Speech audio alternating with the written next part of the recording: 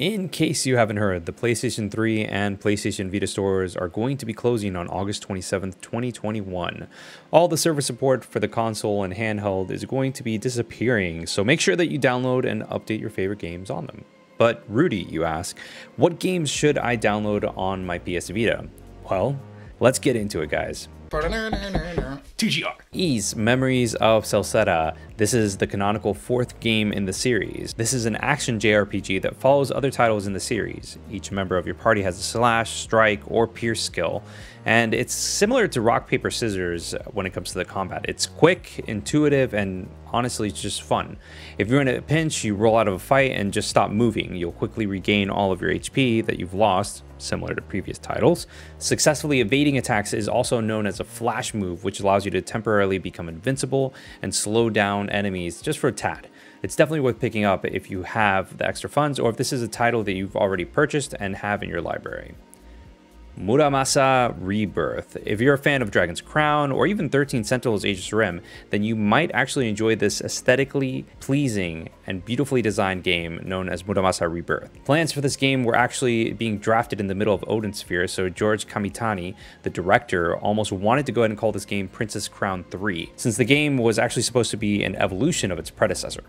It's made by a team of 16 people, and this game was actually originally launched on the Wii as simply Muramasa. It was then released on the PlayStation Vita because the team thought the OLED screen of the handheld led to a better portrayal of the game's palette. Additional content was obviously developed for the Rebirth game, but it was actually sold as DLC in the United States. There was a Japanese exclusive that came out that included the base game as well as four additional DLCs, but that was never brought to the West. The next game that I want to talk to you guys is actually Tearaway. This game actually holds a special place in my heart because of its childlike take on platforming.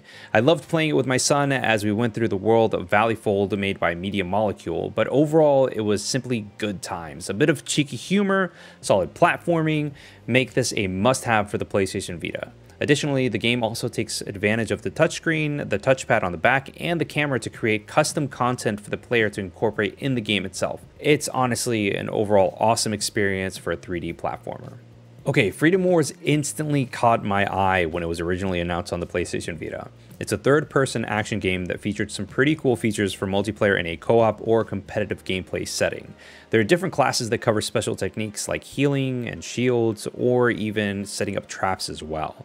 This is set in the future, so that the year is actually 10 2014 on Earth, and the world is actually in ruins.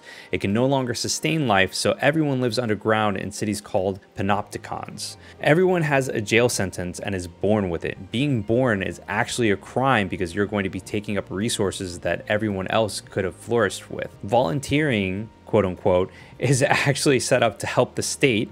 And this technically does reduce your sentence, but regardless, anyone that is charged for a crime, whether they're guilty or not, is considered automatically guilty. It's odd, but more areas actually unlock as you progress through the game and reduce your sentence. Not to spoil anything, but things do get interesting later on, and this is something that is a must have since it's only available exclusively on the PlayStation Vita. No list talking about PS Vita games is complete without talking about Persona 4 Golden. This was my personal first foray into Persona and I got it through PlayStation Plus. The idea of a murder mystery and trying to solve it completely and immediately caught my eye. The big thing that hooked me and kept me going was how players spent their time in Inaba as well as the quote unquote TV world. Overall, the relationships that you develop with your friends through social links or increasing the ranking, going through school, and solid, and I mean extremely solid, JRPG mechanics and combat make this a must have for anyone that has a Vita. I do want to go ahead and mention though that Persona 4 Golden did get released on PC on June 13th, 2020. Fingers crossed, I'm hoping that Atlus goes ahead and decides to throw more Persona games on PC so that more people can access these games and just have a good time. I do want to go ahead and mention a few extra titles that I think you should download. Danganronpa, if you're into visual novels, is actually phenomenal from what I hear. I haven't played it personally, but I do hear a lot of people talking about it. Gravity Rush is an amazing game that I have played and I recommend as well. I haven't played the second one yet, but I do plan on playing it in the future. The next and final game that I do want to go to mention is Velocity 2X, which is an amazing 2D platformer slash shooter puzzler thing. Honestly, go check it out. These are some of my favorite games that I've played on PS Vita. What are some of your favorite PS Vita games? Are there games that I haven't mentioned that I need to make sure that I get before the stores close? Honestly, guys, let me know. Thank you very much for watching and thanks for your support. Hope you enjoyed the video. If you want to see more and stay up to date, subscribe, hit the little bell, and join our Discord.